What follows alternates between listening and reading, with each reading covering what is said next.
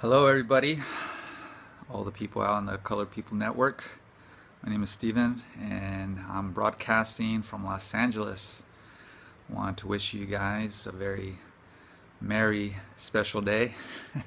Every day is special. And I'd like to say it's been a pleasure working with you guys or being a part of a group such as Colored People Network and to see on a daily basis uh, the amount of creativity, the amount of art, and the amount of passion uh, that Tanya has uh, brought together under one umbrella. So I'd like to say thanks you all for sharing your gifts and hopefully you guys get to see my gifts from time and time again. So from Los Angeles, you guys take care. Bye-bye.